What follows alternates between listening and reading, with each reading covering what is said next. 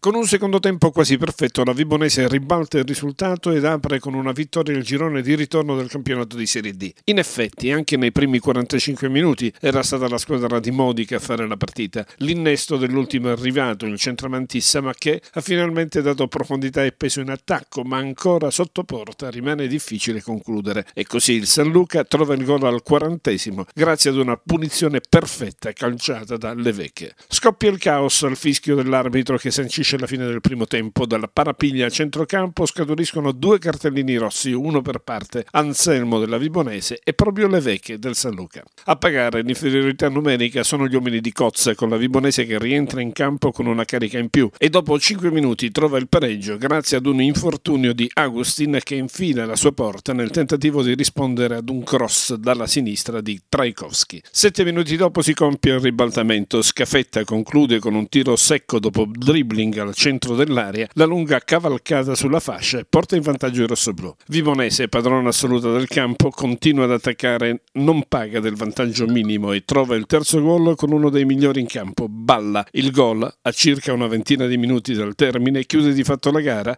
e la Vibonese fa così un importante passo avanti in classifica. Abbiamo preso ancora una volta gol sul calcio da fermo, lì è stata una prodezza del giocatore loro, balistica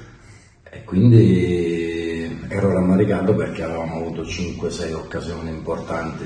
per fare gol e però ero fiducioso perché la squadra stava bene, la squadra stava giocando bene, tanto che io mm,